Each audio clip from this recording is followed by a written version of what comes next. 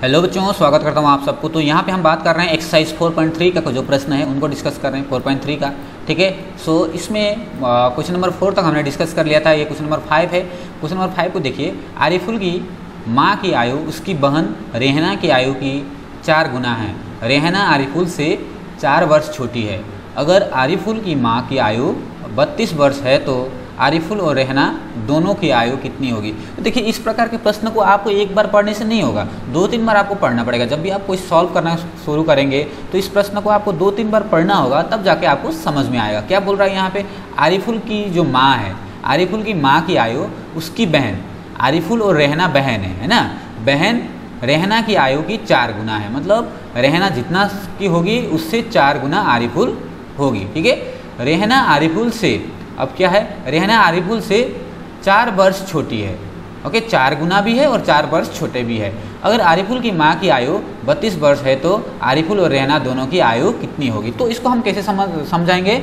मान लो, हम क्या करेंगे? मान लो आरिफुल की आयु एक्स वर्ष है। अगर आरिफुल की आयु एक्स वर्ष है तो क्या है? आरिफुल की माँ की आयु ओके आरिफुल की आयु एक्स वर्ष है तो यहाँ पे क्या हो जाएगा? रेहना की आयु क्या हो जाएगा? आपको देखिए यहाँ पे रेहना आरिफुल से चार वर्ष छोटी है बोला है। रेहना जो है, आरिफुल से चार वर्ष छोटा है। अगर हमने आरिफुल को एक्स बोल दिया तो रहना क्या हो गया? एक्स में चार घटा देना पड़ेगा, चार वर्ष छोटी है तो एक्स माइनस फोर कर दिया, ठीक है? उसके बाद हम इसको कैसे करेंगे? अब देखिए, एक प्रश्न दिया हुआ है। चार गुना के।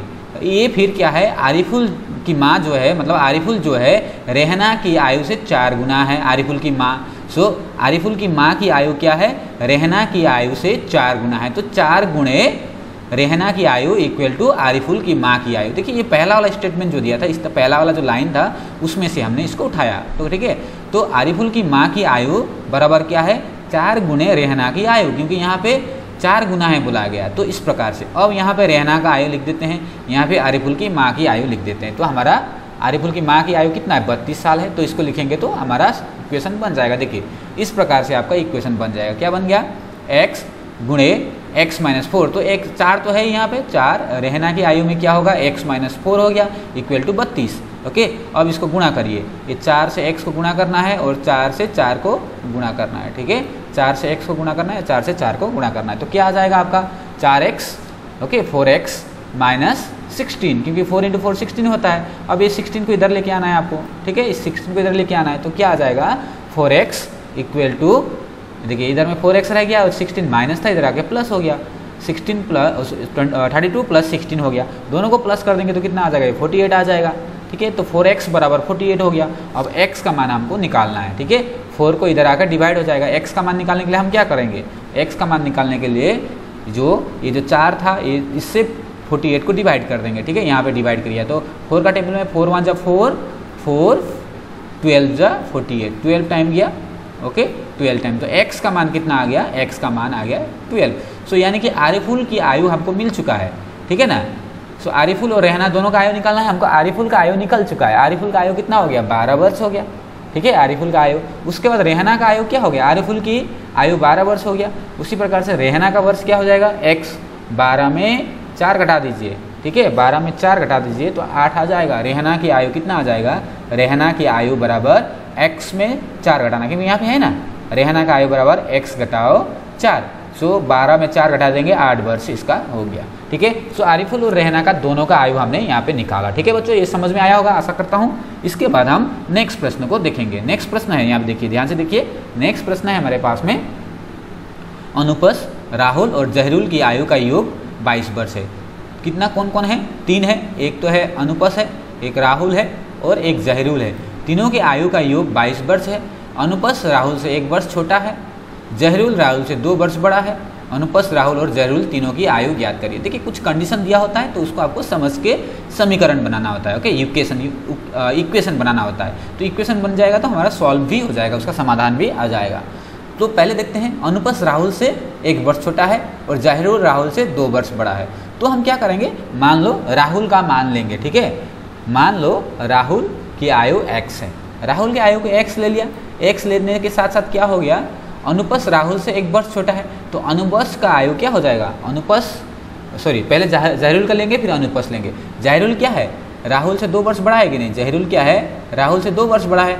तो राहुल का जो आयु था एक्स था, उसमें दो जोड़ देंगे तो जहरुल का आयु हो जाएगा। ओके जहरुल का आयु के लिए हमने क्या किया? एक्स में दो जोड़ दिया। अब अनुपस के आयु में क्या करना है? राहुल से एक वर्ष छोटा है तो एक्स में क्या घटा देंगे? वन घटा देंगे, ठीक है? सो अनुपस की आयु एक्स माइनस वन क्यों? क्योंकि राहुल से एक वर्ष छोटा है और राहुल राहुल एक्स है। राहुल को हमने एक्स बोला है। तो अनुपस क्या है? राहुल से एक वर्ष छोटा है तो एक्स में वन घटा देना है। जहरुल राहुल से दो वर्ष बड़ा है तो एक्स में दो जोड़ देना है तो इस प्रकार से हो गया। अब ये तीनों को हम जोड़ देते हैं, देखिए। तीनों के वर्ष को अगर हम जोड़ देते हैं तो कितना आएगा बोला है? बाईस वर्ष आएगा। कितना आएगा बेटा? बाईस वर्ष आएगा। तो इक्वेशन हमको मिल गया। अनुपस राहुल और जहरुल की आयु का योग कितना है? बाईस वर्ष है। तो इसको हम क्या करेंगे? सबको जोड़ देंगे। पहले x को जोड़ा, फिर x प्लस टू को जोड़ा, फिर x माइनस वन को जोड़ा तो बराबर कितना आया? बाईस आ गया। ठीक है? सो अब अब क्या करिए? यहाँ पे एक कितना ठो एक्स है? तीन ठो एक्स है। देख रहा है आपको? एक, दो, तीन। तीनों को प्लस करेंगे तो थ्री एक्स हो जाएगा। कितना हो जाएगा? थ्री एक्स हो गया प्लस वन प्लस वन कैसे? ये टू था। टू में वन माइनस कर दिया तो कितना आ जाएगा? वन आ गया। तो तीन x plus one equal to बाईस। अब ये वन को इधर लेके आइए। वन को इधर लेके आएँगे तो क्या हो जाएगा ये?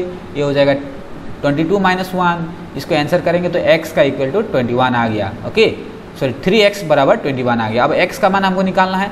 एक्स का मान मतलब ट्वेंटी वन को तीन से भाग कर देंगे। ट्वेंटी वन को तीन से भाग कर देंगे। ये कट गया। ये कट गया। ये सेवन हो गया। ठीक है? ये कट गया। सेवन हो गया। तो कितना आ जाएगा? एक्स का मान आ गया सात। ओके सात्या इक्कीस यानी कि राहुल का वर्ष आपको पता चल गया है। राहुल कितना है? एक्स वर्ष है। यानी कि आप देखिए। सो क्या हुआ? एक्स बराबर सात हो गया। सो राहुल की आयु सात वर्ष है। क्योंकि राहुल को हमने एक्स बोला था। एक्स बराबर सात। अब अब अलग अलग निकालिए फिर जहरुल का वर्ष क्या होगा? एक्स में दो जोड़ देना है एक्स में दो मरना मतलब क्या है? नौ वर्ष। कितना हो गया? नौ वर्ष हो गया। जहरुल की क्योंकि एक्स में दो जोड़ना है एक्स बराबर सात है। एक्स की जगह में सात लिखा प्लस दो कर दिया, नौ हो गया। उसी प्रकार से अब हमारे पास किसका निकालना है? अनुपस का निकालना है। राहुल से एक घटा देना है। राहुल के पास, राहुल जितना वर्ष का है, राहुल एक्स वर्ष का है मतलब सात वर्ष का है, उसमें से एक घटा देंगे। सात में एक घटाएँगे तो छः वर्ष।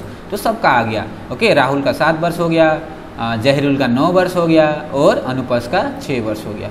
अब तीनों को जोड़िए तो बाईस होता है कि नहीं? तीनों को जोड़ने से आपको बराबर बाईस आ जाएगा। ठीक है? आपका जो आंसर था करेक्ट हो गया। तीनों को जोड़ देने से कितना हो जाएगा? बाईस हो जाएगा। ठीक है? आशा करता हूँ बच्चों ये आपको प्रश्न समझ में आया होगा। ठीक है? यहाँ पे हमने दो प्रश्नों को डिस्कस किया। और ये अपने कॉपी में लिख लेंगे। जो भी दिक्कत होगा, जो भी डाउट होगा, आप कमेंट सेक्शन में लिखिए, उसको हम समाधान करके आपको बताएँगे। ठीक है? सो अभी के लिए इतना ही। Thank you for watching God bless you